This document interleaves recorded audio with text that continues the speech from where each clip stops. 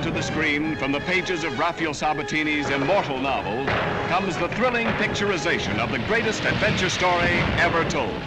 The swashbuckling tale of those heroic crimson days on the Spanish Main, when villainy wore a sash and waved a cutlass, and the only political creed in the world was love, gold, and adventure. It's The Black Swan, starring Tyrone Power in his lustiest role as the daring Captain Waring, and Maureen O'Hara as the proud and lovely Margaret Denby, with Laird Cregar as Captain Henry Morgan, Thomas Mitchell as Tommy Blue, George Sanders as Captain Leech, Anthony Quinn as Wogan, and hundreds of others. Bottle him up in Tortuga Harbor. Sink him, lads, and wipe Leech and the black flag off the seas. You can tell these lords and gentlemen they can rest easy in their plush chairs, Sir Henry. I'll bring you back a necklace made of his teeth. Look at you, hating me. And your eyes saying, don't go away.